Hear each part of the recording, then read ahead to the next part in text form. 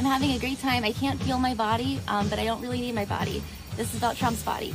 I think this whole thing's been blown way out of proportion, you know? Like, yeah, they didn't let us drive our cars here, but it's because they said, you know, our cars are poor. And that doesn't look good on TV. You know, you're a TV person, you know that. I think he did this to teach us a lesson. I really do.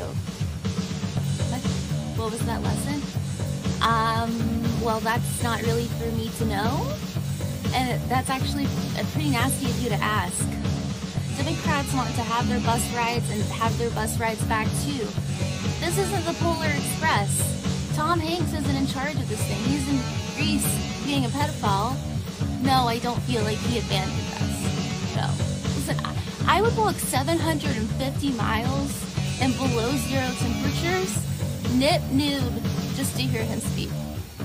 Maybe that's not appropriate to say, but yes, I've seen some elderly people passed out um, and, and, unresponsive. Um, but to be honest, the only reason there's so many of, of those people is because uh, the media keeps counting them. And so if, if people like you guys weren't counting the old people that were on the ground, there, there wouldn't be as many.